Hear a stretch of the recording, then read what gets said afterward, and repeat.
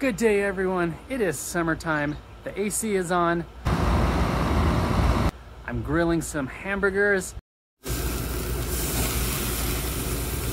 But right now, we're cooking up the Nike Pegasus 37. This is my full review. Stay tuned.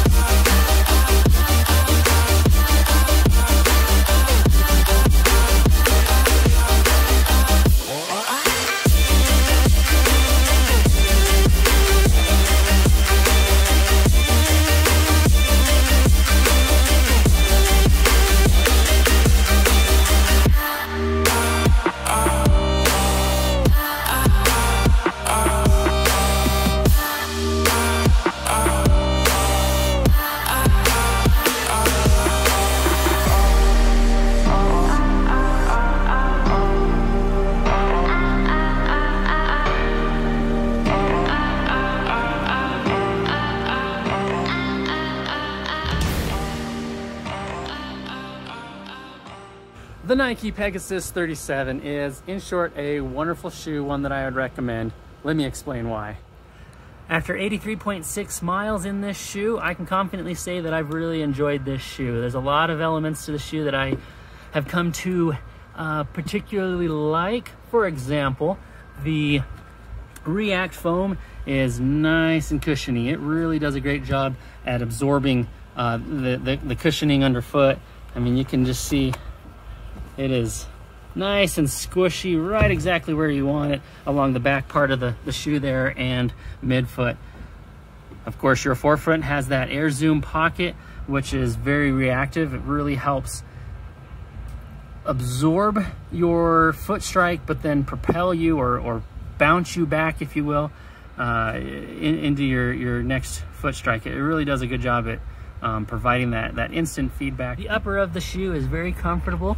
You've got this uh, very nice uh, fabric. It's not very forgiving as far as uh, stretchiness, but it, for me, was very comfortable. Uh, the, the width of the toe box was uh, good for my foot. If you have a above average wide foot, high volume foot, you'll probably want to go with the wide version.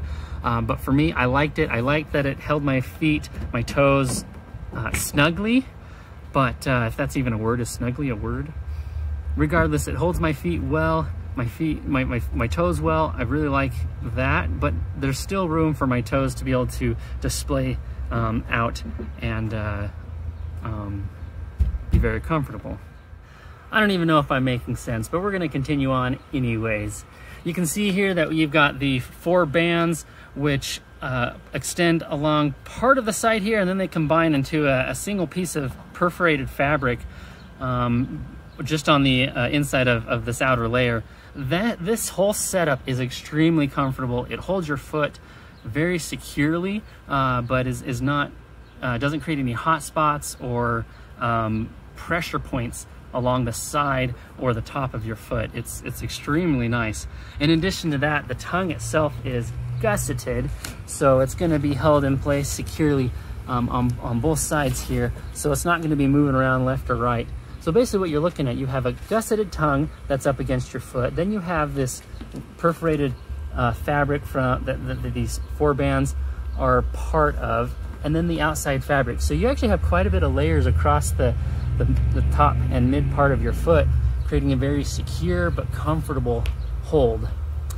Uh, the foot my feet never got hot in this shoe. It seems to breathe well. The material, even though it seems to be very um, uh, uh, dense, uh, I don't know if that's the right word to use, it does not shed water. It absorbs water uh, quickly, which makes me believe that it also is very breathable. I have a high tolerance in my feet as far as heat and um, uh, cold, so um, whether the shoe breathes really well or not doesn't really impact me at all. Moving along to the back, the heel is very comfortable. You've got some nice padding along here, a little bit along the sides. Most of the padding is gonna be along the uh, um, this part of uh, the, the heel, heel part of the, the shoe. It's nice that they included a lot of padding there and you have a little bit of flare there so there's very little interference along your Achilles heel. Back to the midsole, you're looking at um, 28 millimeter heel stack, 18 in the front for a 10 millimeter drop. Uh, that drop is, is just fine for a typical daily trainer. Onto the outsole, you're looking at a, a, near full spread of rubber with a little bit of decoupling here. This uh, little cavern, if you will, or whatever that's called, is actually kind of nice because when your heel presses down into that, uh, what's going to happen is, is the rest of the shoe spreads out a little bit. So it actually, in effect, provides even more cushioning um, without the added weight of additional foam there.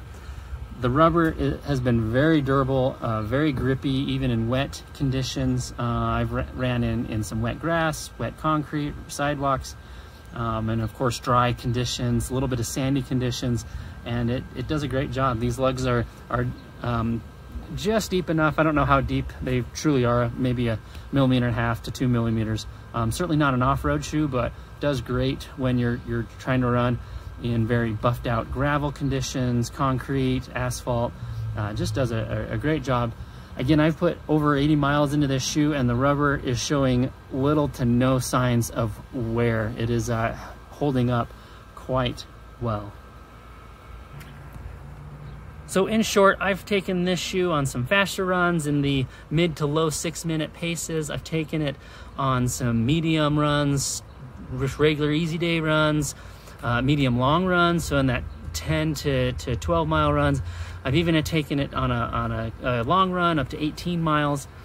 The shoe did great in all of those conditions with the exception of the long run. My only real gripe or complaint about the shoe is that on those long runs, my foot just tends to get a little bit more tired, more tired than it does on really any other shoe that I've owned. Um, now I don't really notice it until I start getting into the 15 plus mile range. So as a daily trainer, the shoe really has been great.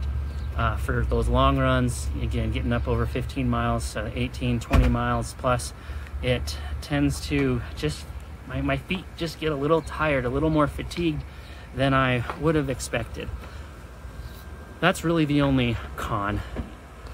Again, onto the pros. I love the Air Zoom. I love the Nike React foam. I love the fit and feel of the upper. I love the build quality. This shoe is built very well and it and you can feel that on underfoot my full review of the Nike Pegasus 37. A great shoe. I would recommend it. $120 MSRP. That is a good buy, good value, and you might even be able to find it on sale, which is even better.